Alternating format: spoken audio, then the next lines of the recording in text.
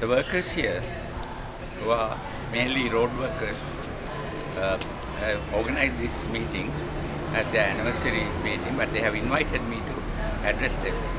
And I'm very th- thankful to the uh, General Secretary of the Union, Neelu Vijay Tilakar, Comrade Neelu Vijay Tilakar, and others for allowing me to speak.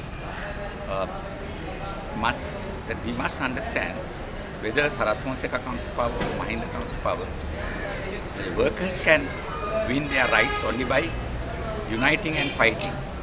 Therefore, these conferences are very important.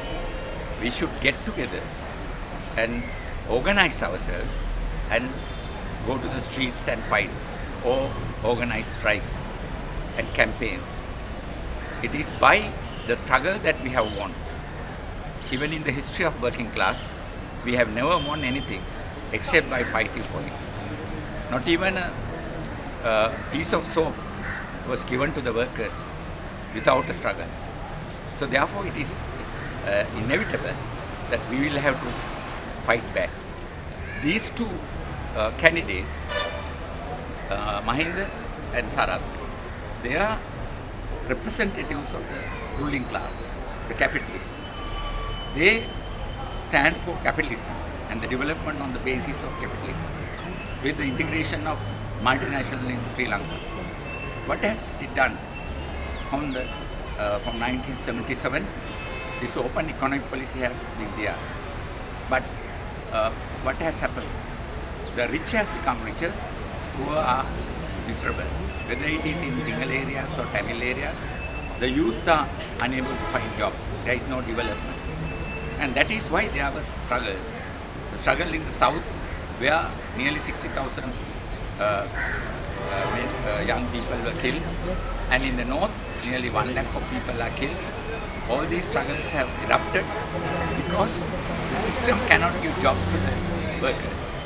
And the, in, on the other hand, the, now the development is handed over to the multinational. So the local industries, the state sector is depreciating.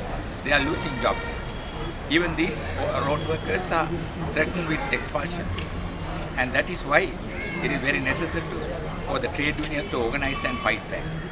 The workers are uh, now penalized.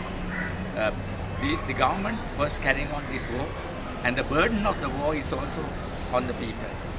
They were asked to not to ask for salary increases for the last four years.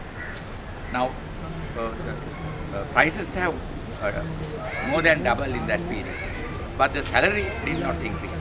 Because of that, they can't cope with the, uh, the, market and the inflation.